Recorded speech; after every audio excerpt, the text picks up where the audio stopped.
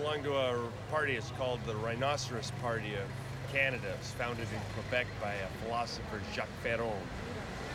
Looked like a civil disobedience type thing. He goes, N'est pas des moutons. We are not sheep. We are rhinoceros. Very thick skin. We know which way the wind blows, and we like to wallow in the mud. A very good politician. Once you put personal egos and sovereign nations ahead of the concept of the earth first, you can only have destruction.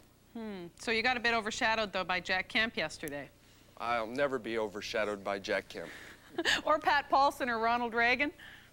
Never. I accepted only 25 cents last time I ran for president. The guy said, How come you accept such a small c- campaign contribution?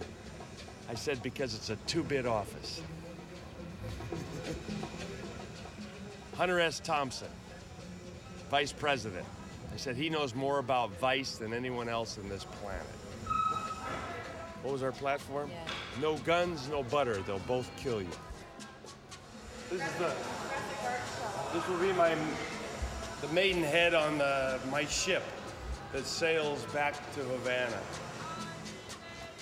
I had in uh, 1972 a shirt like that, but it said uh, "Lick Dick" in '72, meaning Richard Milhous Nixon. Yeah? Yeah, it said